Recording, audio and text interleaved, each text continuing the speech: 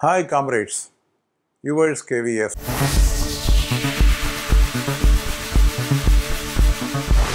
Whether the quota fixed for the minorities in the reservation is exclusive or part of other quota. Because all of you know there is a subquota of 4.5% for minorities, whether it is separate or within the 27% of reservation of the OBC. So this has been clarified by the DOPT by its OM dated 22-12-2011 that the subquota of 4.5% for minorities has been carved out from the 27% reservation of the OBCs. So out of 27% earmarked for the OBC, 4% is the inner reservation and remaining will only filled by the OBC candidates. Now OBC reservation other than the minorities will be 22.5% only.